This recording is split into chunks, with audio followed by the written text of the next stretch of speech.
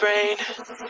Don't say we can't, oh, just don't say another word. These thoughts you've imagined aren't real, aren't adding up. You fetched your ideas from nowhere, all from another world. Your logic's impaired, your full picture is cropped.